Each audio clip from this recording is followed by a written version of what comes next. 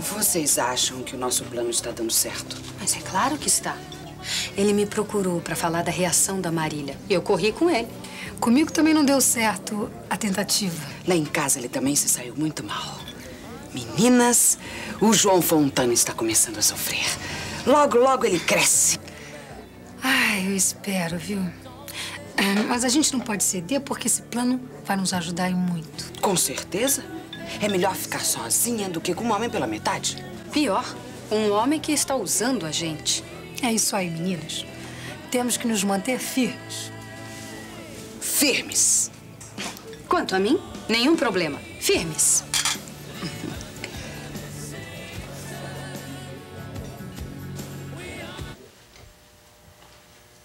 Pai, você tá caidão hoje, hein?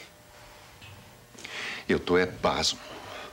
Eu estou cada dia mais perplexo com as mulheres. Ah, é? O que foi que elas te fizeram agora? É melhor você perguntar o que elas não fizeram. Tá. Muito bem. Pode falar. Olha aqui. Se eu vou falar com a Marília, ela fecha a porta na minha cara, eu fico furioso. Aí eu procuro a Márcia pra, pra falar, pra me aconselhar, pra desabafar. Ela bate a porta na minha cara. Se eu procuro a mãe de vocês, ela diz que a Gilda, mãe dos meus filhos, minha esposa, não mora mais aqui. Onde é que eu fico? Pai, elas cansaram. Você aprontou demais. É verdade. Parece um casa nova.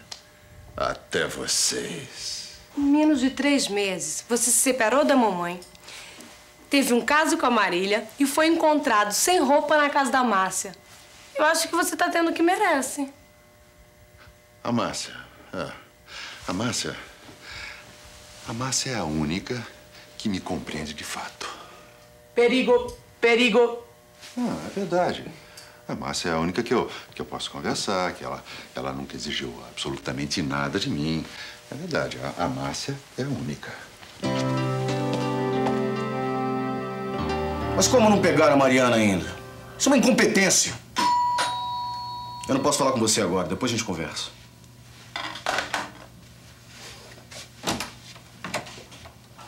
Pode entrar, Geraldo. Bom, minha irmã me disse que o senhor estava vindo levar um papo comigo. Nós temos que continuar combatendo nossos inimigos. Será que o senhor podia explicar mais claro esse negócio? Nós temos que continuar lutando contra a Cláudia e o Lucas. Ah, bom, agora eu entendi, mas de que jeito, doutor? Chegou a hora de você dar queixa do sumiço que a Cláudia deu com a tua filha. Ah, que que é isso, doutor? Que sumiço de nada. Maria Carolina hoje estava lá na casa do tio Zé mesmo, eu vi ela lá. Mas deixa de ser burro, Geraldo. Olha pra mim. A Cláudia foi embora com a tua filha. Deu sumiço com a filha dela. E você não faz a menor ideia de onde ela esteja. Sabe, Geraldo?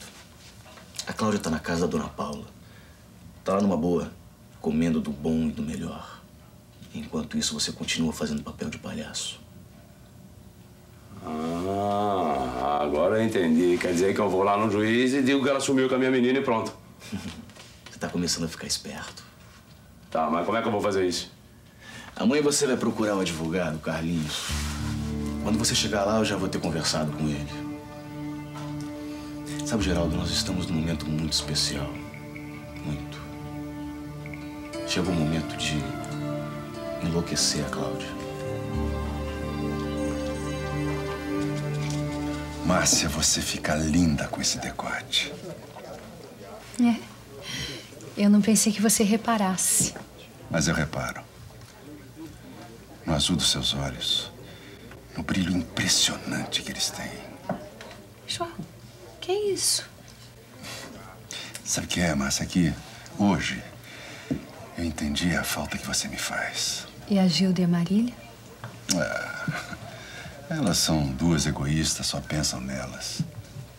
A única que fica do meu lado, que defende as minhas ideias é você. A única que pensa em mim é você. E só por isso que você veio me procurar?